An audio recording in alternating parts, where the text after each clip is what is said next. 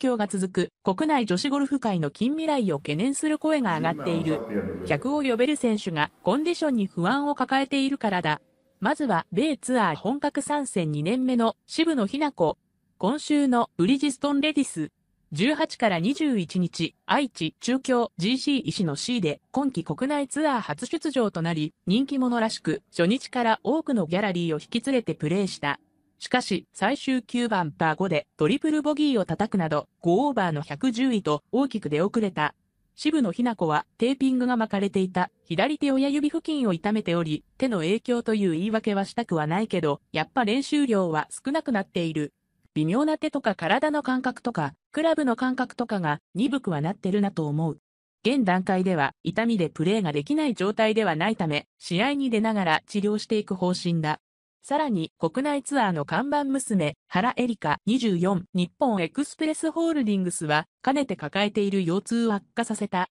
先週から2週連続欠場となり、17日には自身のインスタグラムで、ちょっとお休み続いちゃいそうです。2年半たくさん痛みと戦いましたが、来るとこまで来てしまったようですと、欠場の長期化を匂わせた。そんな状況に、あるベテランツアー関係者は、人気選手が揃わないと、やはりツアーの注目度は上がらない。原選手の状態も心配だし、渋野日向子選手は万が一幹部を悪化させてしまっては、今後スポットで国内の試合に出ることも難しくなるのではないかと、表情を曇らせた。主戦場は異なるが、二人が活躍するか否かは、女子ゴルフ人気のバロメーターだ。ケースは異なるとはいえ、コンディション悪化は女子ゴルフ界の人気を支えてきた金属疲労なのか、早期回復を祈るばかりだ。渋野日向子、国内初戦大声援に鳥肌が立つくらい嬉しいも、110位と出遅れ。日米通算7勝で、今季国内ツアー初戦の渋野日向子は1バーディー、3ボギー、1トリプルボギーの5オーバー、76で110位と出遅れた。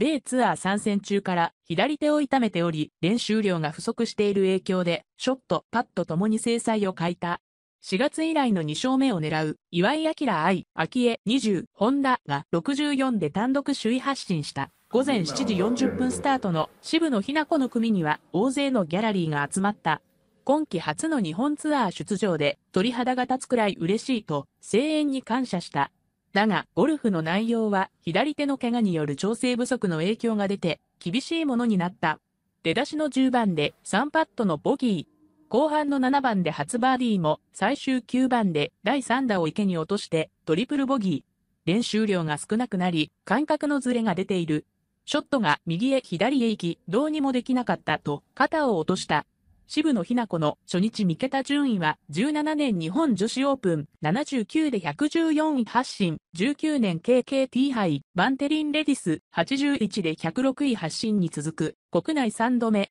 この日は親交のある元ソフトボール選手で東京五輪金メダルの山田恵里さん39が応援に駆けつけた。今回も出させていただいている分、やりきらなきゃいけないと、懸命に前を向いた。渋野日向子、だいぶ余計、笑いトリプルボギー、山田恵里さん激励に、大喜びも空回り110位。今季国内初戦の渋野日向子は1バーディー、3ボギー、1トリプルボギーの76で、首位と12打差の5オーバー110位と出遅れた。7バーディー、ボギーなしの岩井明愛が7アンダーで単独首位。1打差2位に、リハナ、韓国、2打差3位に、山下美優がつけた。4アンダーの4位に、菊池恵里から2人。本格参戦中の米ツアーから一時帰国した西村優奈とアマチュアの馬場咲東京代々木港は1オーバーの58位。辛い最終9番パー5になった。渋野日向子の左バンカーからの第3打は若干バフったとグリーンに届かず手前の池へ。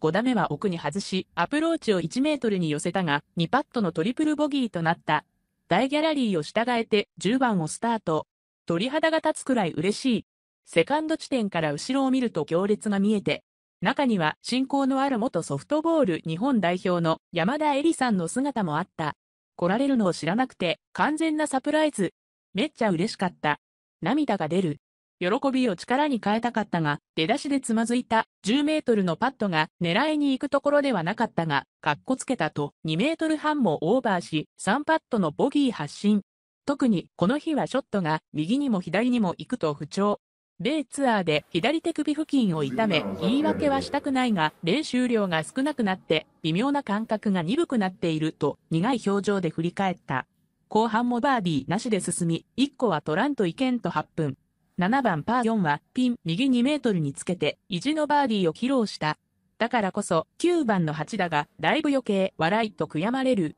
ホールアウト後は100人以上にサインし、昼食後に練習場へ。アイアンショットなど調整し、挽回を期す2日目に備えた。渋野日向子とも談笑、馬場咲が話題の直ドラを目撃し、刺激。その結末は、アマチュアの馬場咲代々木校3年がクラブ契約を結ぶブリヂストンの大会に出場。初日を1オーバー58位タイで終えた。大好きと話す金田久美子、そして先週、双子プレーオフを制した岩井千礼との注目組に入った馬場は、スタートの10番で残り145ヤードからのセカンドを8番アイアンで寄せてバーディ発進と幸先よく滑り出した。しかし、前半はそこからボギーが2つ、後半に入り4番でイーブンに戻したが、ティショットを右の池に入れた5番でダブルボギーを叩いた。直後に一つ戻したが、ゴルフは全然ダメでしたと、悔しい一日になった。ただ、小学生時代からその姿を追っている金田や、関東選抜で一緒にプレーしていた時から、みんなの憧れだったという岩井とのプレーは嬉しかった。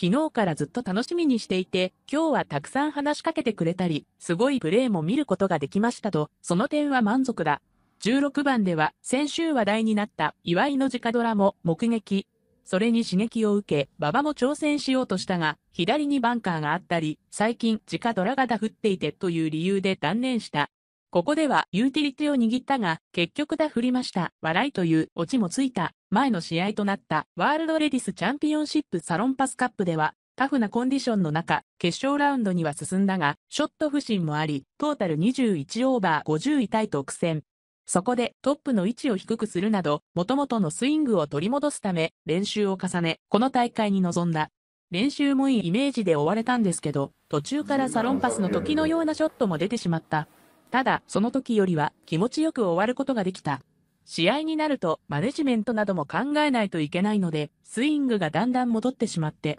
スイングを第一に考えてやりたいですと、さらにここを強く意識して第2ラウンドに臨む。ラウンド後の練習場では、打席で打ち込んでいた渋野日向子のもとに駆け寄り、10分ほど楽しげに話す姿も見られた。リラックスムードで、時折笑い声も聞こえてくる。海外から戻り、日本ツアー今季初戦を戦う先輩同様、アマチュアながら自身も大会を盛り上げる立場だ。アンダーを出せるようにしたいと、ここから上位進出へと巻き返しを図る。